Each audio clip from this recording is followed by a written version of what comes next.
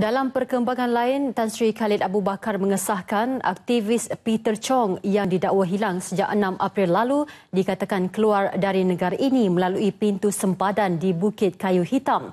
Tambah Tan Sri Khalid, pihaknya memperolehi foto yang menunjukkan Peter menyeberangi di Bukit Kayu Hitam dengan menaiki bas pada jam 6.30 pagi 7 April lalu.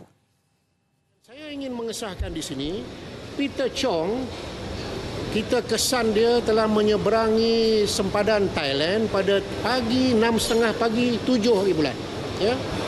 Uh, kita dapat gambar dia menyeberangi uh, apa nama apa nama sempadan di Bukit Kayu Hitam itu menaiki bas ya.